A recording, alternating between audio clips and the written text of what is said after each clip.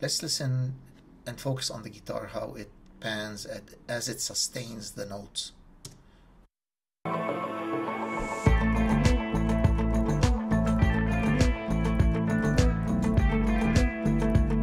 Okay, and what happens when I push the mid by 2 dB?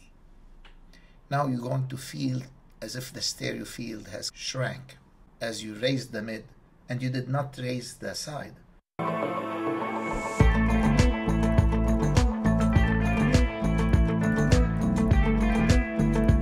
So what you have to do now is add another instance of uh, P42 in side mode, push the side another 2 dB, but now you need then again to balance and bring the whole signal down to match it with the original signal. Let's take that option or workflow out and let's focus just on the mid. I pushed the mid by 2 dB and uh, all I have to do is push that uh, main out of the mid because now I'm in mid you see the blue uh, button. Um, so if this is 2 and I lowered by 2 I should get similar uh, level or relation between the mid and the side.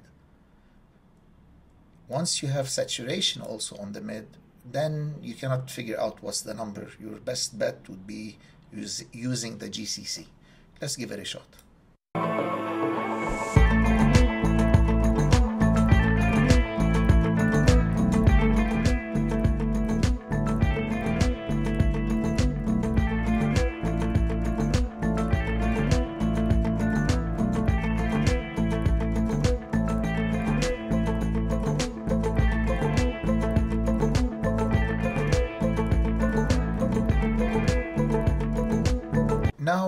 let's move uh, further. I like what I have right now.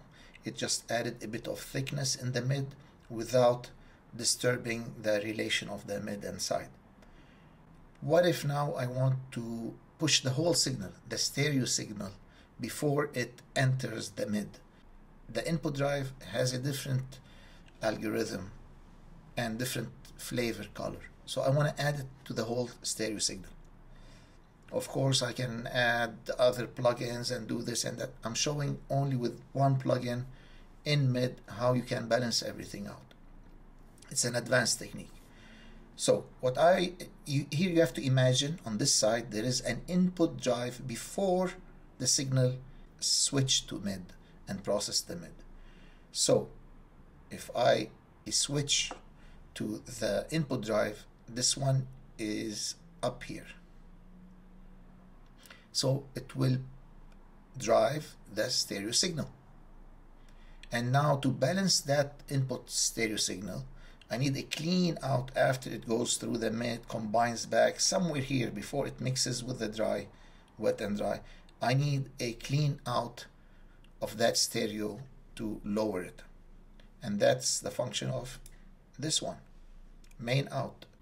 So when I push this, I can push that pull, push, pull. Gain, attenuate. Let's give it a try.